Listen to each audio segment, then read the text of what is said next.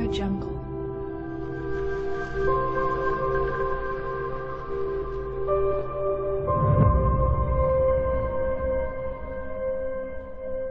Audio Jungle.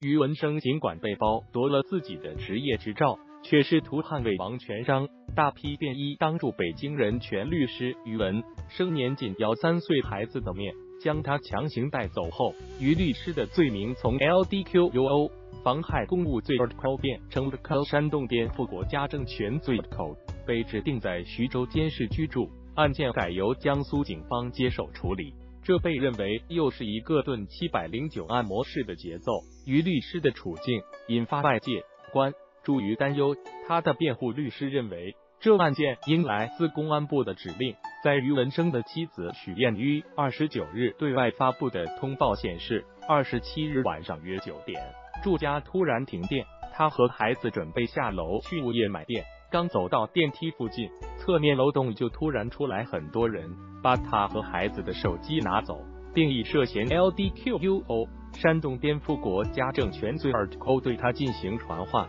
来自江苏徐州铜山区警察和北京石景山国报队长共约二零多人，对于律师的住家和办公室进行搜查。期间，江苏徐州的警察给他与律师的指定监视居住决定书，罪名已变成涉嫌 LDQUO 煽动颠覆国家政权罪。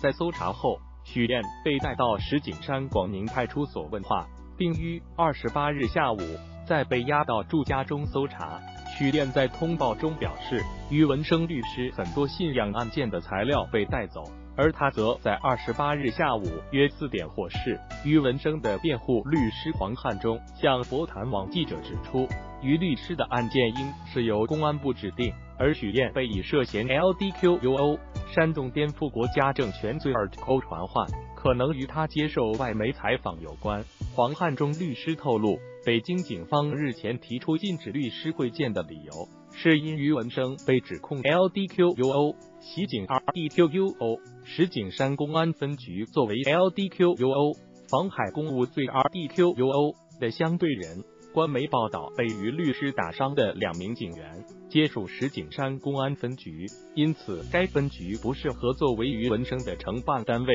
所以案件移交其他机关办理，律师不能会见。黄汉忠律师指出，当时在于文生还在石景山看守所的情况下，不能因为案件移交而拒绝律师会见。当局选择与于文生案件无关的江苏徐州铜山公安分局接手，判断此案是由公安部直接指定。黄律师解释，从法律规定来讲，于律师被控涉嫌的 LDQUO 煽动颠覆国家政权罪。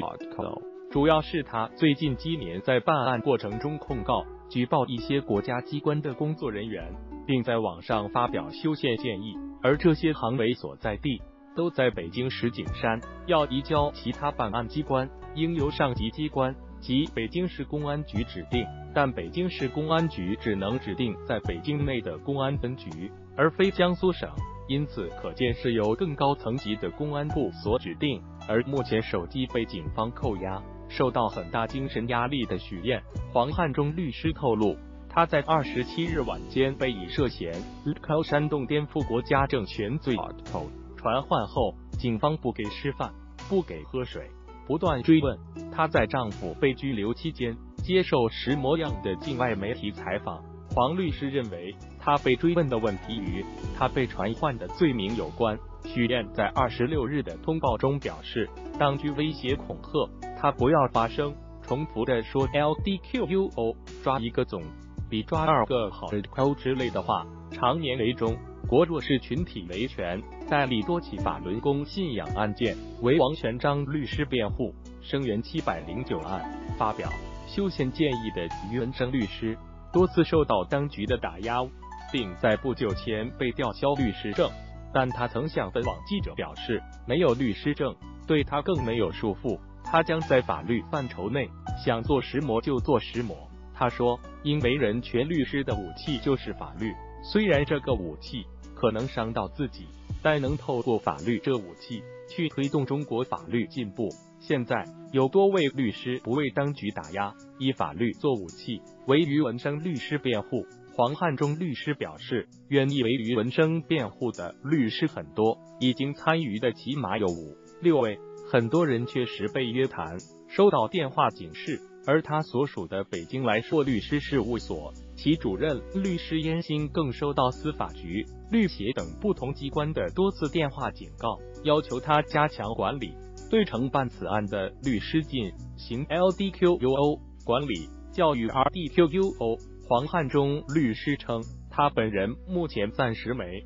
有收到明确的警示，但他苦笑的表示，也许是他的工作不是那么出色。所以，有关部门暂时没找他，或者只是轮流。于文生律师的案件呈现七零九案模式的走向，尽管案件的后果仍无法预测，但黄汉忠律师提出呼吁，希望江苏公安机关能严格依照法律规定，不要同天津公安机关、湖南公安机关办理七百零九案时，对被关押的律师严重刑讯逼供，剥夺被告获得律师帮助。辩护的权利，他希望江苏公安能保障于文生律师的诉讼权利，特别是获得律师辩护的权利。